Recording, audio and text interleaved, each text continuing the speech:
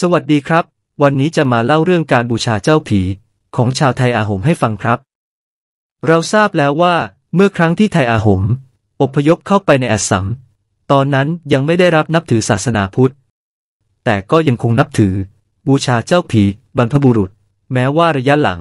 จะรับนับถือฮินดูแล้วก็ตาม แต่การประกอบพิธีบูชา เจ้าผีบรรพบุรุษ ยังคงดำเนินมาจนถึงทุกวันนี้ การประกอบพิธีบูชา จะมีการสวดด้วย การสวดคล้ายๆ กับการเรียกขวัญ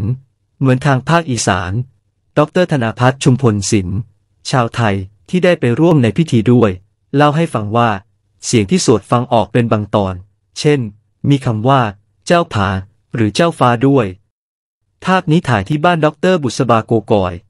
อาจารย์ที่มหาวิทยาลัยดิบรูกาสซึ่งได้ต้อนรับคณะของดรธนาพัฒน์เมื่อวันที่ 8 มีนาคม ปี 2562 และได้เชิญคณะหมอสวด มาสวดให้ผ่อนด้วย เมดัมเมผี เป็นพิธีทางศาสนาโบราณของชาวไทยอาหม ในพิธีจะเป็นการบูชาเจ้าผี หรือบรรพชน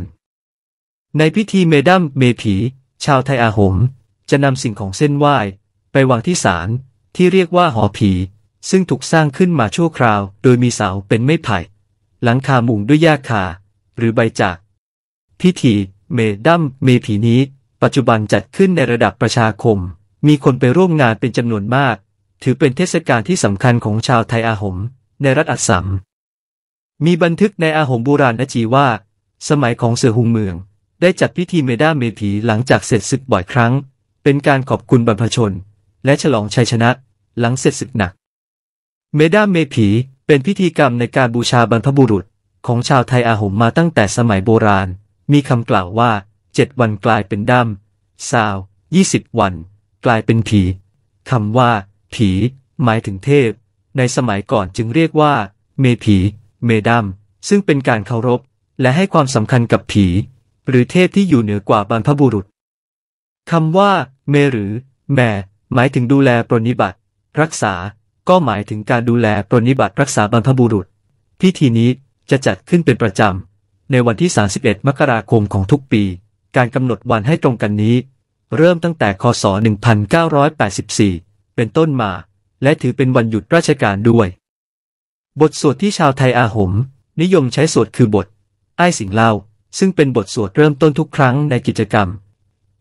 หมอที่มาสวดจะเป็นตัวแทนมาจากหมอสามท่าน จากสามตระกูล มาประกอบพิธีในตอนสาย สมาคมหมอหลวงสามตระกูล คือตระกูลหมอที่เคยประกอบพิธีในราชสำนัก ได้แก่ หมอหุ่งหมอใส หรือเดวไทย หมอปล้อง หรือใบหลุง หรือภูกรหมอหุ่งทำหน้าที่สวดมนตรา ส่วนหมอใส หรือเดวไทย และหมอปล้องจะจัดการเกี่ยวกับสิ่งของที่นำมาบูชา ทั้งสามตระกูลกระจายตัวอยู่ในอสสัมตอนบน โดยเฉพาะเมืองปัสสากุปัจจุบันยังครอบคลุมไปถึงหมอหลวงในอดีตถึงสิบตระกูลด้วย วันนี้เล่าให้ฟังเพียงเท่านี้ จะเล่าเรื่องอื่นให้ฟังอีก ในโอกาสต่อไปสำหรับวันนี้สวัสดีครับ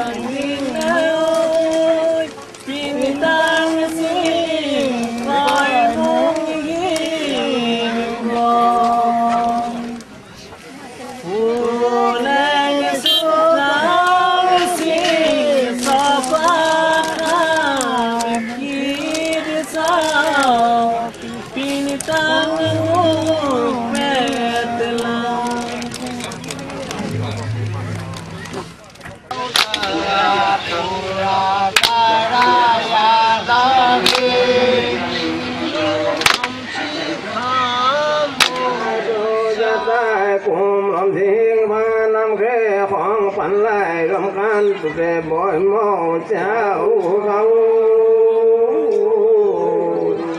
เจ้านูเจ้าเขาไอ้ลางดินผู้ครูบ bảo lang đền phồn nhỏ mỏ mông giam lon sinh ba chít chan là nam mông tiêu mông tam si mông làng bội mông cháu bao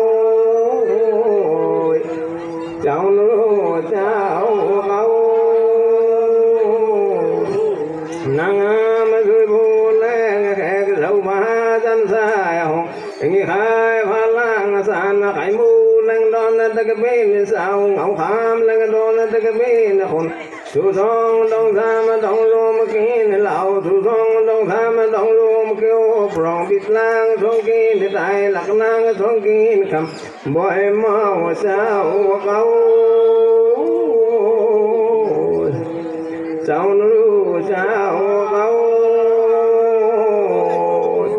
sáu phá ai phá lọn sáu phá đất dài lùm sáu phá riêng con mộng sáu phá bao lông phá bao sáu phá bao tên sạch sáu phá bao kẻ sáu phá bao lùa phá mọi màu sao câu